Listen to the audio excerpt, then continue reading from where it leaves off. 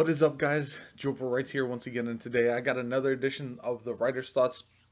This one might be a little bit shorter, not a, a lot going on that I haven't covered recently, but I just want to jump into it. As always, is there live on my Twitch channel, twitch.tv slash Writes. And if you missed those, they can be found as replays on my YouTube, youtube.com slash Writes. Thank you as always for tuning in, and I'm going to jump into it. The very first thing that I saw, a lot of people were talking about, is the Animal Crossing Nintendo Direct that recently happened. Now, I'm not a huge fan of the series. Not saying that I don't enjoy it, just that I haven't really played it a whole lot. That being said, the community is extremely excited. They've been waiting for a new Animal Crossing announcement for a long, long time. And so some of the things that they've been showing off in the direct and as they get ready for release has got the fan base very excited. It's actually a game I, I believe I'm going to try with my wife because I think it's something we can both play and both kind of work on together. That will be very interesting and she'll really enjoy. So it's definitely something that I want to check out and try out as we're going forward. But good for Nintendo on delivering these things for the Animal Crossing fans. There are some people that kind of were upset that they did a whole focus on just Animal Crossing, but judging from the fan base, this is a pretty big release to them, and I'm not surprised that they're going to be throwing their weight behind this game at all. Uh, next up, we had something that, that was very interesting to me that I wanted to talk more about. Now, we, we've seen a lot of the big name streamers get deals with other platforms. We've got Mixer, Facebook, YouTube, going from Twitch. Now, recently we actually had Caffeine getting in the mix with signing some hip hop artists such as Drake. And now they're actually going to be trying to pay affiliates to come stream part time on their their own platform. So what's basically happening is Caffeine is willing as long as you average over 10 viewers, Caffeine is willing to give you a certain amount of money in order to stream on their platform. Now, this is interesting because it's the first time that I've really seen a company go after the smaller to mid tier streamers. The problem is, one, they won't be able to offer enough, it looks like, to entice really partners over because partners, especially on Twitch or Mixer, are exclusive. So that's not going to happen, I don't believe, anytime soon.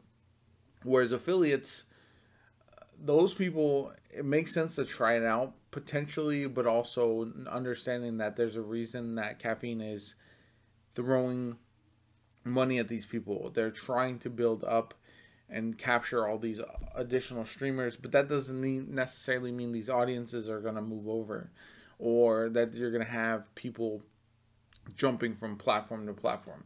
The problem is caffeine is way behind the other platforms as far as streaming. And I I just don't I don't see it being a big deal. I don't see it happening in a way that uh, catches caffeine up and I think a lot of affiliates are going to get frustrated because they'll go over they'll stream part-time on caffeine and if anything it might hurt them on their other platform where they're trying to build a, a base so I just don't see it as a thing that's going to happen and be super successful potentially, and that's just my opinion. Then we had uh, some news that I've been very interested in. I've been watching the gaming slash sports crossover quite a bit. There's been a lot of athletes that have started gaming and streaming. You had Wombo Sports, which has done a lot of.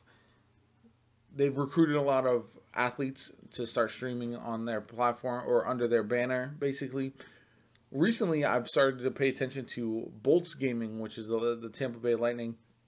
They've been in partnership with Rare Drop, which is kind of headed by Gothalion, Professor Broman, Darkness, and uh, Kevin Vision.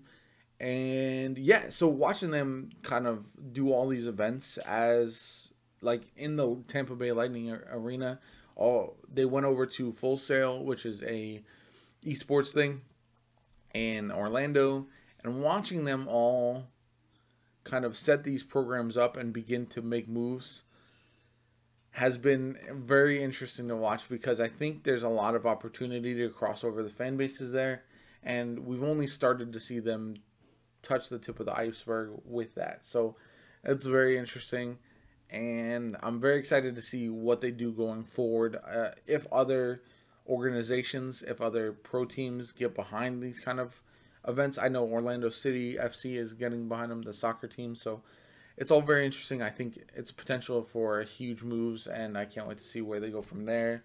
And one of the last things I have is uh, there's an old game Gothic that I thought was really cool and very interesting. And they're actually making a remake that's going to be coming for the PS5, which I'm super uh, psyched about. I can't wait to see how that turns out.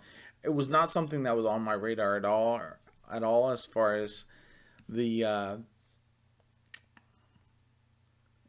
as as a remake. It's not something that I was I saw being redone ever. But the fact that they're doing it and it's going to be on the PS5 is going to be pretty wild, and I'm kind of excited about it. So can't wait to see what comes of that. What we, what other remakes, what other remasters come to the next generation of console, because we've seen that happen a lot. A lot of these games getting redone because they're just super successful and they have these built-in fan bases, so it makes sense for them to try to redo it. We've seen it with the Final Fantasy VII remake, which is coming out soon, and it looks amazing. So, anyway, let me know what you think of all my thoughts for today. Thank you, as always, for stopping by and hanging out, and I will catch you guys later. Thanks, as always, for stopping by the channel. Make sure to like and subscribe for future content, and I will catch you guys later.